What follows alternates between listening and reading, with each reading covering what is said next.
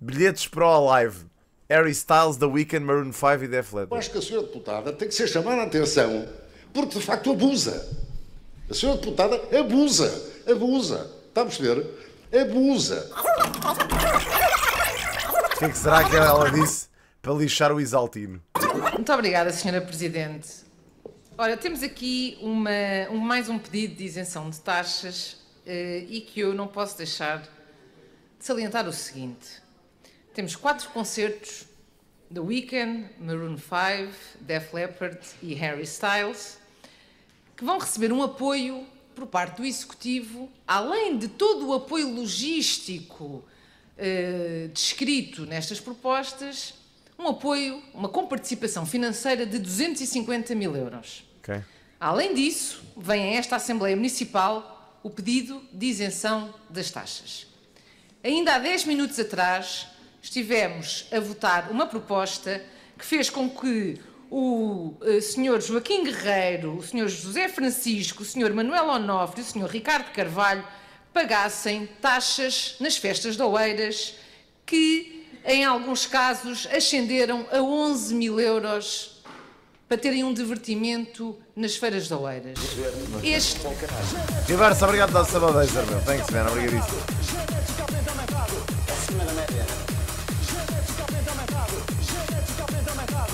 Obrigado, man. Obrigado. Ganda Reverse, pá. Obrigado pela sabadeja. é o problema do poder discricionário da Câmara Municipal de Oeiras na atribuição destes apoios e nos pedidos de isenção de taxas. E isto é inadmissível. Segunda questão: como é que é possível os deputados desta Assembleia Municipal estarem a aprovar isenção de taxas depois de terem recebido bilhetes para um destes concertos, pelo menos? Como é que isto é admissível? Muito obrigada. Ai, é com caraças. A senhora deputada do- da Iniciativa Liberal eh, é, nesta Câmara, uma deputada municipal, mas é mais do que isso. Pelo que julgo saber, tem funções importantes na sua estrutura do seu partido e, portanto, as palavras que ela aqui diz, naturalmente, admitirem uma especial relevância que não podemos deixar passar em claro. Duvidar da seriedade e da independência dos atores políticos é meio caminho, se é que não é o caminho, para a morte da democracia. Criam-se dúvidas injustificadas, como se fosse possível nesta Assembleia alguns dos deputados formalizarem e votarem em função do que quer que seja, nomeadamente um simples bilhete, para, ainda por cima, plateia em pé. Ui! Ainda sou-se dos camarotes? No meio da, desculpem a expressão, de milhares de pessoas. Ele ia dizer ralé.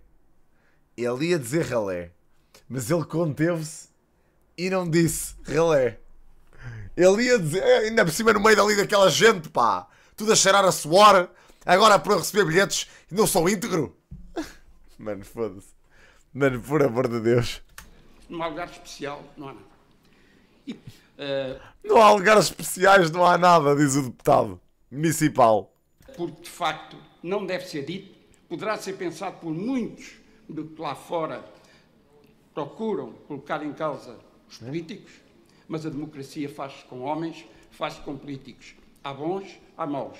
Faz com homens. Não podemos generalizar e o que a senhora deputada fez foi isso. Que eu pessoalmente me candidatei a deputado para ter entradas para o Nós Alive. É o que você dá a entender. Como Parece. estou aqui a votar, não posso aceitar as entradas. Não posso aceitar. Isto chama-se moralismo. Senhora deputada, tem que ler a vossa cartilha. Liberais em toda a linha. Quer liberómetros.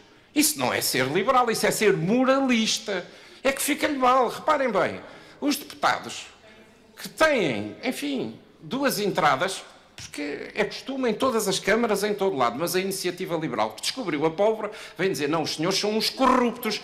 Não quer dizer, eh, eh, quando diz o que é que fizeram aos bilhetes, olha, por acaso este ano, e agora falando como funcionário eh, de uma empresa municipal, houve um sorteio com uma grande transparência. Olha, até fui contemplado, tive sorte. Tive uma.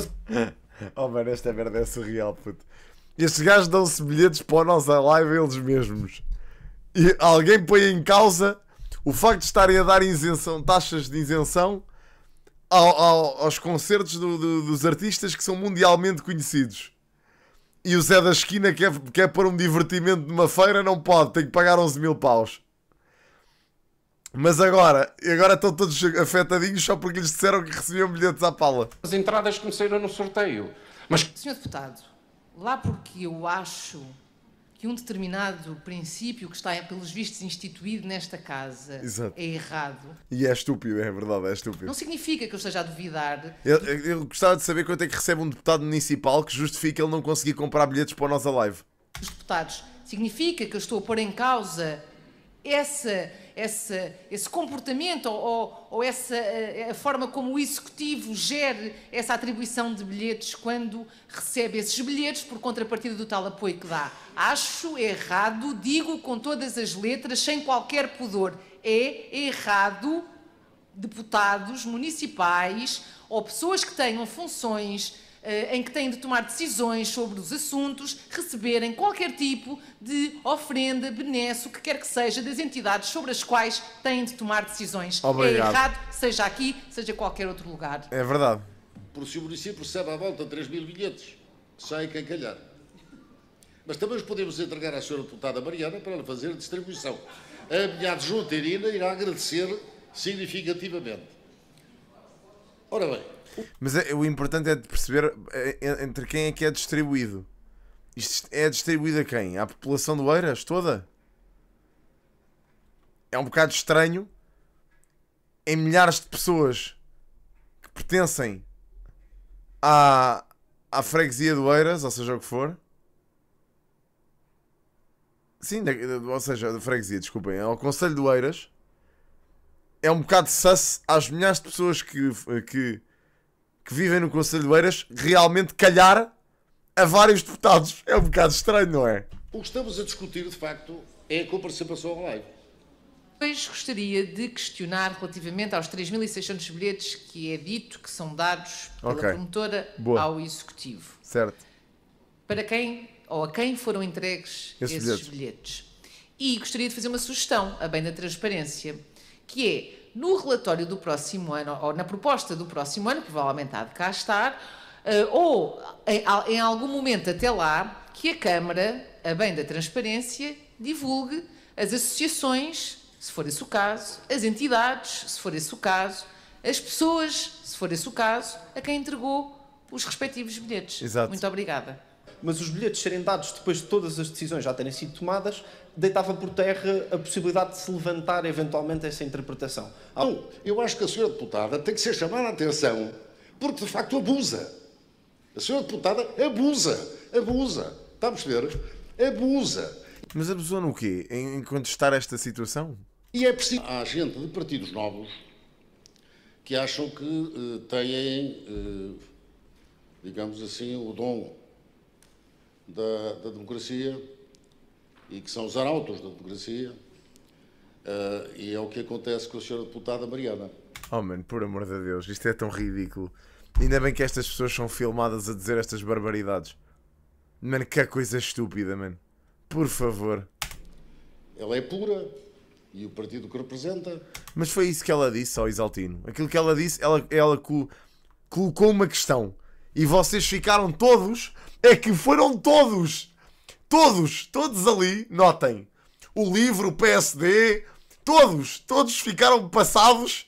Porque de repente coloca-se em causa a quem é que são dados estes bilhetes. A quem é que são dados? Está tudo, tá tudo chateado ali. Expli- digam lá. Quem é, que- quem é que deram os bilhetes? É isso, é, isso é que se breve deputada da Assembleia da República. Está aqui a estagiar, mas na realidade só está, só está a querer mostrar ser da Assembleia da República. O partido que representa. Vão vê-la em breve deputada da Assembleia da República. Está aqui a estagiar. Oh mano, por amor de Deus. Isto, isto, é tão, isto é tão depreciativo. Isto é mesmo depreciativo. Isto é mesmo é dominant. É mesmo. Isto é mesmo é dominant. Tipo, isto é um ataque pessoal. O que, é que- que é que isto, que é que isto responde à questão?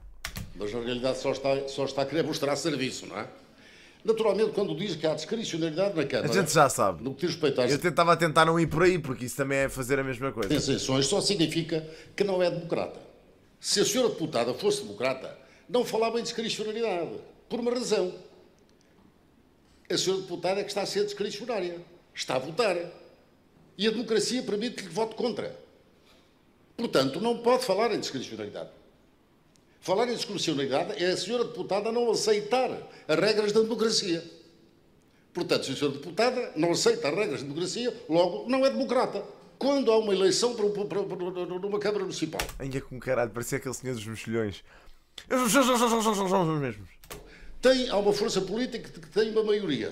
De acordo com as regras do país, da República, das... Pá, ela só está a pedir. Ela só está a pedir transparência. Isto é um conceito assim tão. Tão estranho em, em Oeiras. Não estou a perceber. Ela só pediu para se divulgar e, e, e, para se justificar a quem é que se deu os 3 mil e tal bilhetes. Mano, é que é, são- é um sorteio feito entre quem? É que se é um sorteio feito para a malta do- do- dos partidos políticos e famílias das pessoas que estão ali, dos deputados, aí eu percebo, ainda sobram muitos. Ah, Onde é que vamos parar os bilhetes, bro? Onde é que estes bilhetes estão? É isto que se quer perceber. Eu não sou do Eiras e estou a querer saber onde é que foram parar esses bilhetes. As leis da República são feitas votações.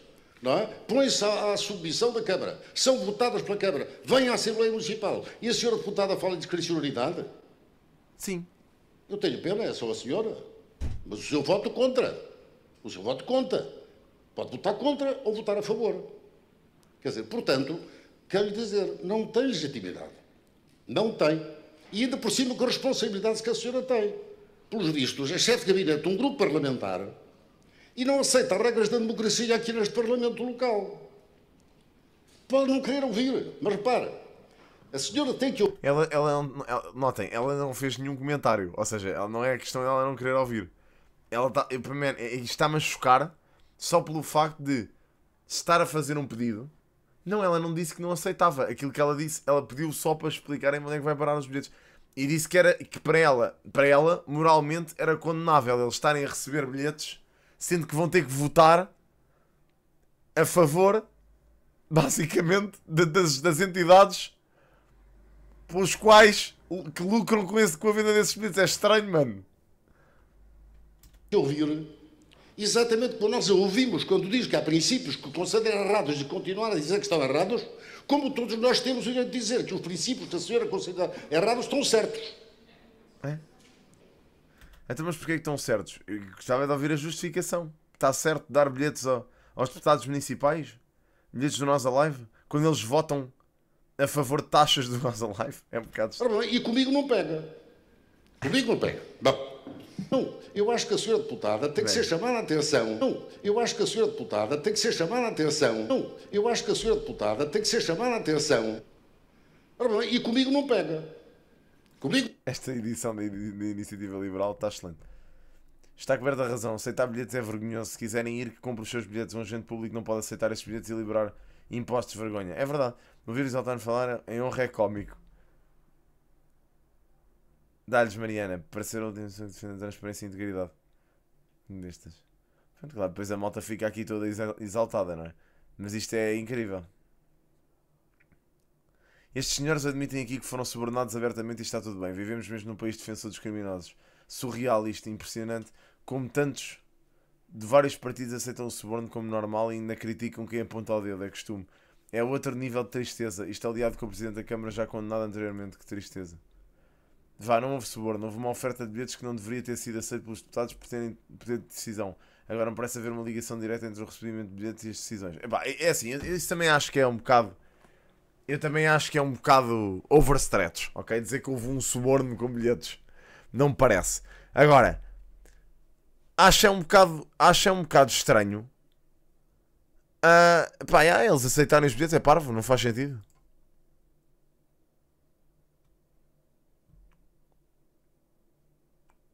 É. Pois é, é uma situação de potencial conflito inter... Mano, isto é absurdo. Isto é completamente absurdo. Isto é, é surreal. Não sei. Não sei. Estranhíssimo, bro. Estranhíssimo.